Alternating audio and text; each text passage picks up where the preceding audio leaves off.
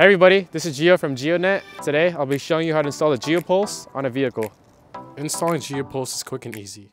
Let's walk through the process. Inside your GEO-PULSE kit, you'll find a main GEO-PULSE device, a booster antenna, and a USB-A power cable. For dashboard installation, simply position the antenna at the farthest edge of the dashboard. Secure it in place using adhesive or mounting hardware. The GEO-PULSE device can be mounted either on your dashboard or the rooftop. For rooftop installation, place the antenna in a location where the built-in magnet can securely attach to the metal surface of your vehicle. Next, connect the booster antenna to the GEO-PULSE device.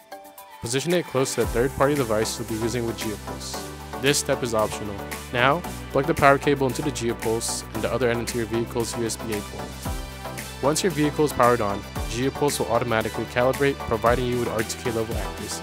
GEO-PULSE isn't just for cars. You can mount it on bikes, scooters, or any other mode of transportation to boost your navigation. And that's not all. GEO-PULSE opens up new possibilities in the Quest app, allowing you to participate in exciting quests where you can earn Geo tokens and other rewards. Ready to get started? Visit GEO-PULSE for the purchase. GEODNET. Mind the sky.